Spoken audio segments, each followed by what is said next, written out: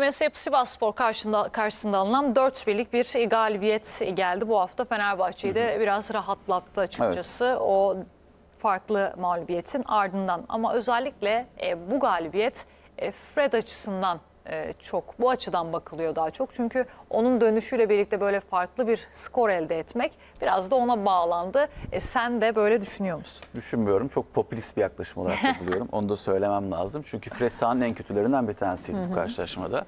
Ee, Ama yanındaki oyunculara etki ettiğini söyleyebiliriz sanki. hiç hiç düşünmüyorum. Yanındaki oyuncu da yani Crespo sakatlandı vesaire ama rakibe bakıyorsun. Rakibin 5 tane adamı 5 ayrı pozisyonda Fred adamı kaçırıyor. Oyunda kaldığı süre içerisinde bakıyorsun Fred'in 5 kez elini kolunu sallayarak rakip Sivas sporlu oyuncular ceza sahasına girdi. Fred'e yazan, performans tablosunda Fred'e yazan adam kaçırma rakamı 5. Ben çok uzun bir süredir bir merkez orta saha oyuncusunun karnesinde 5 kez adam kaçırma gördüm.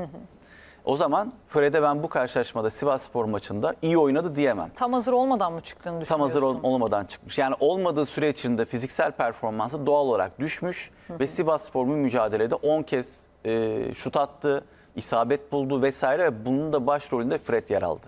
Ha diyebiliriz popülist bir yaklaşımla Fred döndü, harika işler yaptı, işte Fenerbahçe Fred'i arıyor vesaire. Bu denilebilir. Ama gerçekçi bir tabloyla ol- olaya bakacaksak 5 kez top kaybeden bir oyuncu. Sıfır pas arası, Girdiği ikili mücadele rakamına bakıyorum. Sadece 5 ikili mücadele kazanmış. 7 tane kaybı var. Onda da yine %50'nin altında kalmış durumda. Şimdi ben böyle bir oyuncu performansına nasıl iyi diyebilirim ki? O yüzden Fred sahanın en kötülerinden bir tanesiydi bu karşılaşmada ve fiziksel performansını eğer toparlayamazsa ve bu oyunu oynamaya devam ederse özellikle Beşiktaş maçlarında ve Galas Beşiktaş maçında ve Galatasaray maçları daha vakit var tabii Galatasaray maçlarına e, biraz zorlanabilir Fenerbahçe. Peki kimdi sence sahanın en iyilerinden biri? E, Ceko'nun açıklamaları vardı mesela maç sonunda. Özellikle o da e, Fred'in dönüşüyle Evet. takımın da biraz motive olduğunu söyledi mesela. Belki bu da etki etmiş olabilir. Şöyle İrfan, Şimanski ve Tadic üçlüsü orta alanda işini çok iyi yaptığı için Fenerbahçe bu karşılaşmada e, farklı kazandı. Eğer ki orta saha üçlüsü çarkı döndüremiyor olsaydı o zaman işte arka taraftaki bu aksaklıklar sırıtacaktı ve biz bunları konuşuyor olacaktık. Evet. Ben 4 gol atmış bir takımın da yine bu anlamda eksisini söyleyeyim. Yarın senle daha önceki programda bahsettiğimi hatırlıyorum. Süreçten bahsederken sonucu da konuşma muhabbeti yine. Yani süreci konuşalım. Yarın sonuç oluştuğu zaman herkes konuşur. Biz gidişattan da bahsedelim. Bu gidişat sorunlu bir gidişat Fred adına.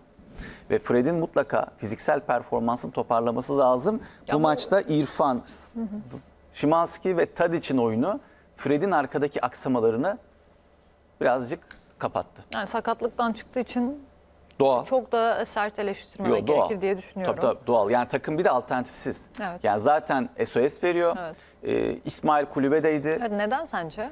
Ee, O sanırım hocanın Evet. karşısında alınan mağlubiyet faturası biraz ona mı kesildi? biraz. Çünkü hocanın maç sonu basın açıklamasını hatırlayalım sevgili Demet. Dedi ki benim kararım dedi. Kestirip attı. Buradan anladığım şey biraz hani burada bazı oyuncular hoca tarafından kızağa çekilmiş. Ya, o maçta mesela stoper oynadı. Evet. Bu onun suçu olamaz diye düşünüyorum. Asla onun suçu değil. Asla onun suçu değil. Yani burada e, senin stoperlerinin eksikliğine sebebiyet olan şeyler sakatlıksa onu önlemi, önleyemeyenler de suç. Anlatabiliyor muyum? O yüzden burada İsmail'e ben fatura biçemem. Tabii. Asla. Şunu sormak istiyorum Buyurun. sana. Ee, dün de Ahmet Akçam vardı. Onunla da çok kısa konuşmuştuk bu istatistikleri. E, mesela maç istatistiklerinde baktığımızda Sivas Spor e, çoğu alanda önde. Doğru. E, yani mesela toplam şutta Sivas Spor'un 10, Fenerbahçe'nin 9. E, isabetli şutlar çok yakın. E, oynama yüzdeleri çok yakın. Ama Paslar neden yüksek. bu kadar e, fark oldu Fenerbahçe? Ayak kalitesi.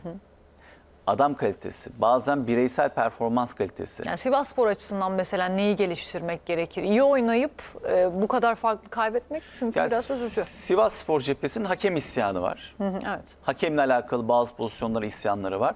Doğruluğunu, yanlışlığını ayrı değerlendirelim. Evet. Ama maçta yine hakemin vasatın altında kalan bir performans olduğunu gördük. Sivas Spor'un lehine de aleyhine de hatalar yapıldığını gördük. Bunu söyleyebiliriz. Yani tek taraflı bir durum söz konusu değil.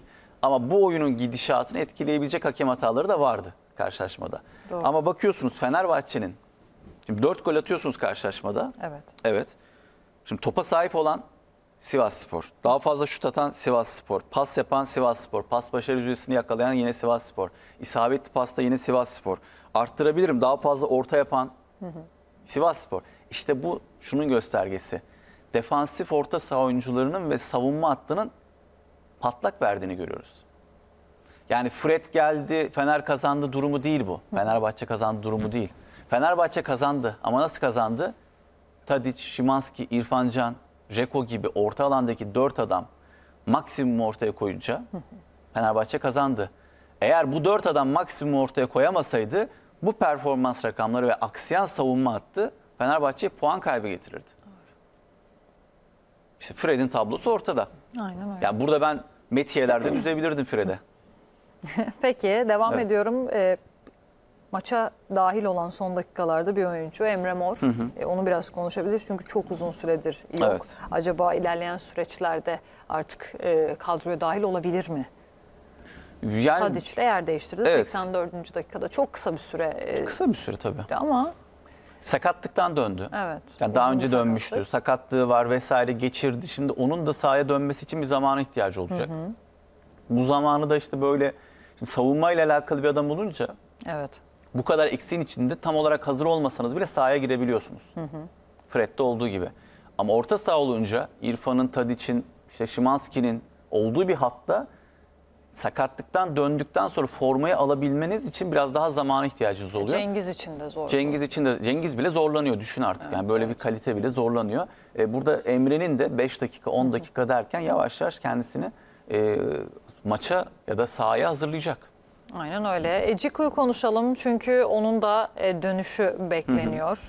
E, o Fred gibi Fred'in çok etkisi olmadığını düşünüyorsun ama Evet. e, Ciku'nun acaba nasıl bir etkisi olur? Çünkü o hat çok fazla aksadı. Çok haklısın. Yani Bu Jadon'la e, Samet bir türlü istenilen o stoper ikilisini oluşturamadı. şimdi bu karşılaşmada da ikisi yine aksadılar. Yani Jadon, yani Osterwolde de, Samet de, hatta Ferdi de bütün olarak bakacaksak aksadı ve burada e, tabii ki de Fenerbahçe'nin asıl stoperlerine ihtiyacı var. Asıl stoper derken Osterwolde bir stoper değil Fenerbahçe adına.